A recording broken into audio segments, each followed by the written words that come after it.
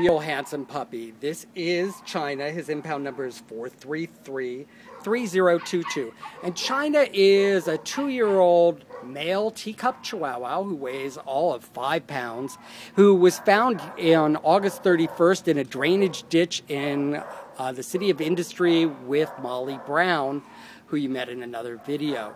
Uh, they were surrounded by water and trapped on this little uh, piece of concrete. And thankfully, one of our officers was able to see them and rescue them because otherwise they would have drowned for sure.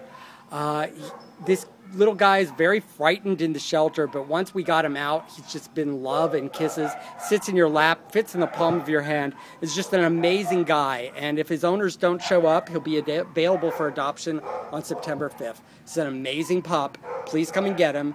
This is China, available for adoption at the Baldwin Park Shelter.